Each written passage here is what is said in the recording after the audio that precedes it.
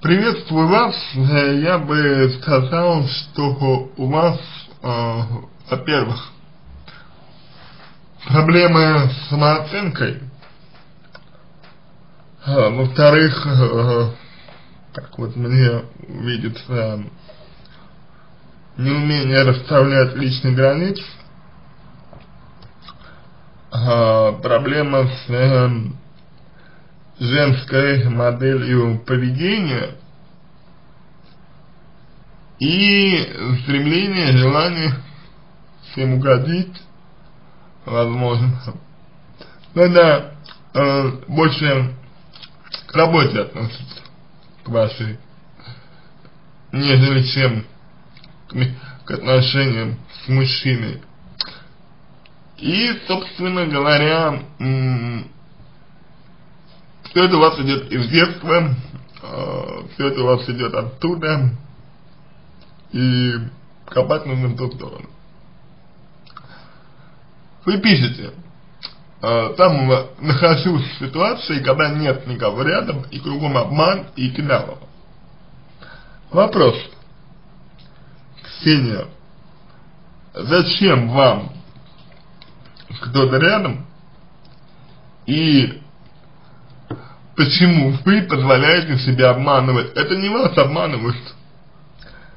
Понимаете, э, люди, они э, действуют так, как им хочется, таки, так, как, как им позволяют их моральные, э, ну, моральные ценности. Люди позволяют им, в конце концов, вести себе, себя так, как вы это позволяете. Если вы позволяете, например, обращаться с собой плохо, или если вы позволяете обесценивать себя, то, может быть, и обесценивать вас не будут, в буквальном смысле слова. Но при этом будут относиться к вам менее ценностно. Поэтому для начала собственная ценность, повышение самооценки, развитие любви к себе, личностный рост, независимость от кого-либо, повышение самостоятельности и, собственно говоря, проработка потребностей, э, в результате которых вам необходимо, чтобы кто-то был рядом с вами. По поводу обмана и доверия, здесь тоже вы перекладываете ответственность на другого человека. А, по крайней мере, вы это делаете в смысле не, не буквальном смысле, а вы это делаете в том смысле, что вот на работе, например, вы много работаете, много-много стараетесь, Э, но при этом никакого повышения перспектив нет, потому что вы не цените себя, вы не цените свой труд.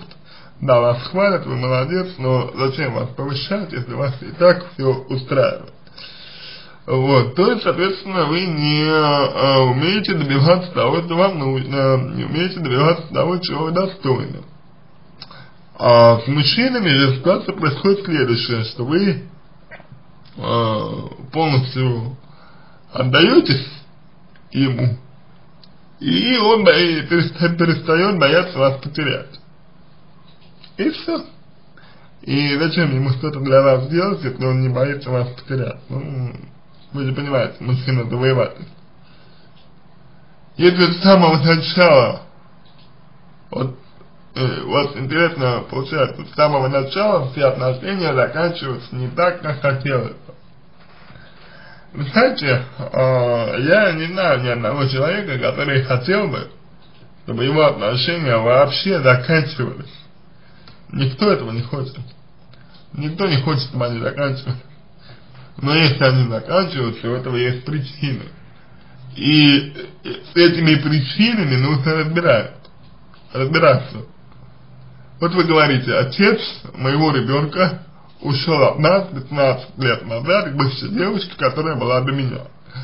Появился потом в жизни у нас сыном другой мужчина. Так, почему отец э, вашего ребенка ушел? Какие были проблемы у вас с ним? Какие были разногласия? Знаете, он ушел, проблема осталась в вас. Часть проблемы. Та, что в виде ответственность лежит на вас. Дальше, э, значит, появился потом в жизни у нас ну, другой мужчина. Семь лет были вместе, но потом стал отдаляться. Чем это объясняется? Вот семь лет это довольно большой срок. Почему мужчина начал отдаляться? Какие у вас конфликты, проблемы, противоречия возникли, что он начал отдаляться? Были увлечения компьютерными играми в свободное время, либо э, гулянки с друзьями. Но это же было не всегда. Он же вначале был с вами, значит, что-то заставило, заставило его так себя вести. Я постоянно была одна и устала от этого.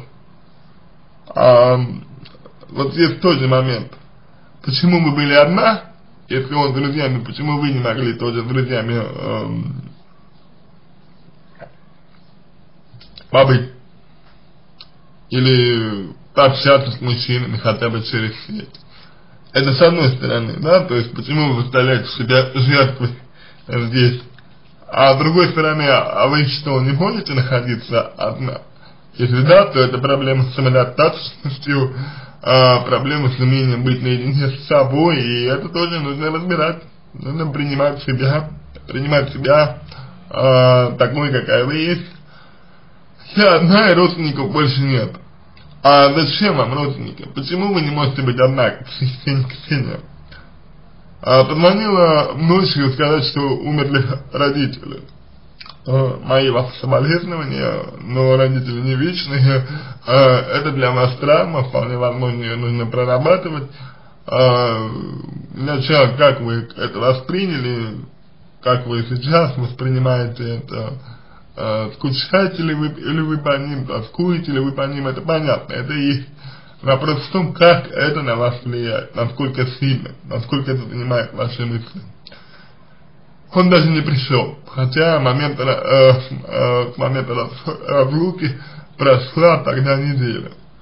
Э, кто не пришел, с кем разлуки, с отцом ребенка или с другим мужчиной, не очень понятно здесь. В любом случае, если вы расстались, почему он был должен приходить к вам? Вот откуда у вас вот эта вот установка, что кто-то должен для вас что-то делать? Расстались по моей просьбе, тем более, если вы по вашей просьбе расстались, то почему должен приходить был? Непонятно. В итоге, через полтора года он женился, и у него ребенок. И что?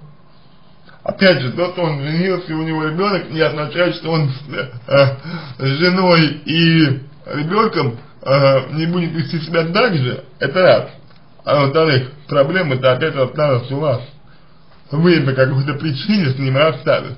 И я полагаю, причина в том, что попросив его расстаться, вы позвонили ему в надежде, что он придет.